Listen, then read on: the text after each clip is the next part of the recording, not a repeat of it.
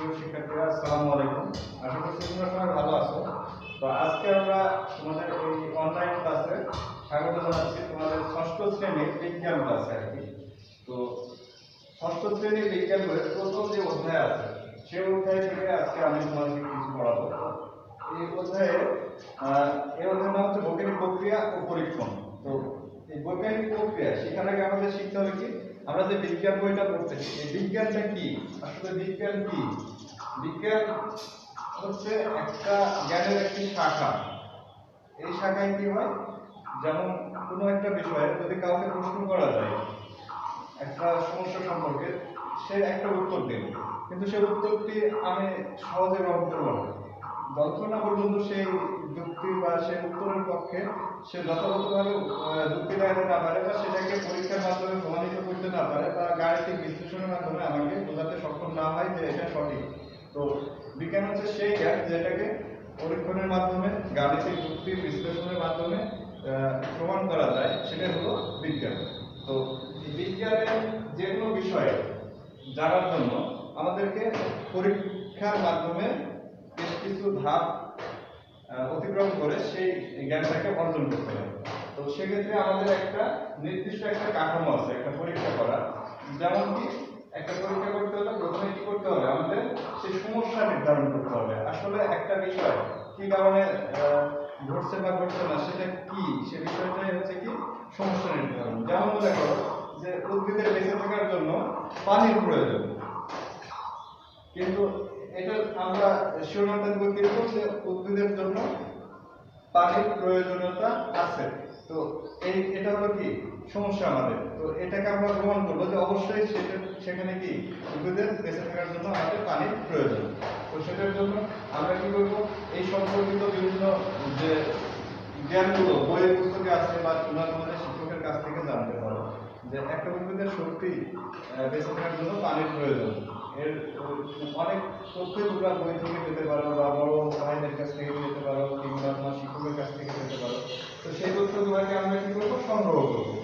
তারপরে কি করব? আনুমানিক সিদ্ধান্ত গ্রহণ। তো আমরা যখন বই পড়ব, সেখানে একটা উদ্ভিদের বেঁচে থাকার জন্য যে প্রাণ- পানির প্রয়োজন আছে, সে বিষয়ে অনেক তথ্য আছে, সেগুলো পড়ার পর আমরা হ্যাঁ আমরা সিদ্ধান্ত নেব। একটা আনুমানিক সিদ্ধান্ত উদ্ভিদের বেঁচে থাকার জন্য পানির প্রয়োজনীয়তা আছে।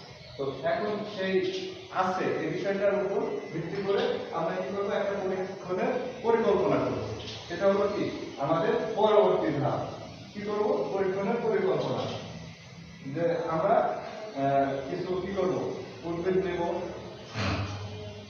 দুই আহ, অন্ততপক্ষে দুইটা উদ্ভিদ নেব। দুইটা উদ্ভিদ সেটা কি? তবে লাগানো থাকবে। আর দুইটা সমবয়সী হবে বা সেখানে মাটির পরিমাণ সমান থাকবে টবগুলোতে এবং দুইটাকে কি করব, আমরা একই জায়গায় রাখব, একই পরিবেশে রাখব এবং রাখার পর কি করব? সেখানে একটাতে আমরা পানি দিব আর একটা টবে আমরা ঠিক পানি দেব না। এভাবে দুই তিন দিন রাখব। রাখার পর আমরা সেটাকে পরীক্ষা করব। সেটাকে কি করব? পরীক্ষা করব যে কি অবস্থায় আছে তো এটাই হলো কি? আমাদের পরীক্ষা। তো এই পরীক্ষাগুলো করার পর আমরা কি করব উপাত্ত বিশ্লেষণ ও সিদ্ধান্ত গ্রহণ? আমরা এরপর কি? সেখান থেকে কি কি উপাত্ত পেলাম? যে আমরা একটা উদ্ভিদকে কি করলাম? দুইটা এক জায়গায় রাখলাম। মাটি আছে এবং দুইটা গাছই একই প্রজাতির গাছ। রাখার পরে একটাতে পানি দিলাম আর একটাতে শুধু পানি দিলাম। না সবকিছুই ঠিক, শুধু পানিটা একটাতে দিব আর একটাতে দিব না। তো এরপরে আমরা কি দেখলাম সেখানে? সেখানে আমরা উপাত্তগুলো বিশ্লেষণ করব। সেখানে যেটা দেখলাম সেটা হলো কি? সেখানকার উপাত্ত। তো সেই উপাত্তগুলো যখন আমরা বিশ্লেষণ করব তখন সেখানে আমরা কি দেখতে পাচ্ছি? যে যে উদ্ভিদটা আমরা কি করেছিলাম? পানি দিয়েছিলাম। সেটা খুব সুন্দর সতেজ এবং কি? খুব ভালোভাবে বৃদ্ধি পেয়েছে বা তার শারীরিক শারীরিক তো বিভিন্ন কার্যাবলী ভাবে সুষ্ঠু আহ, সুষ্ঠুভাবে ঘটেছে। আর আরেকটা উদ্ভিদ যেটাকে কি করেছিলাম? পানি দেয়নি। সেটাতে কি হয়েছে? উদ্ভিদটা প্রায় মৃত প্রায় হয়ে গেছে কিংবা মারা গেছে, এরকম কিছু আমরা লক্ষ্য করব।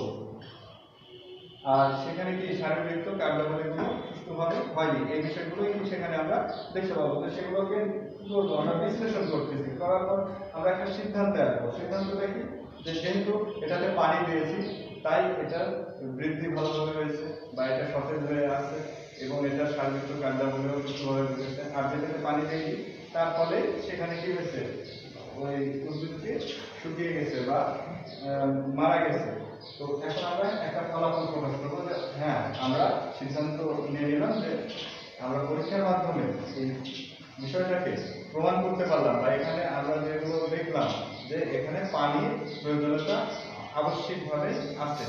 অর্থাৎ আমরা একটা ফলাফল প্রকাশ করলাম যে আমাদের উদ্ভিদের বেঁচে থাকার জন্য পানির প্রয়োজনীয়তা আবশ্যক বা পানির অবশ্যই প্রয়োজন।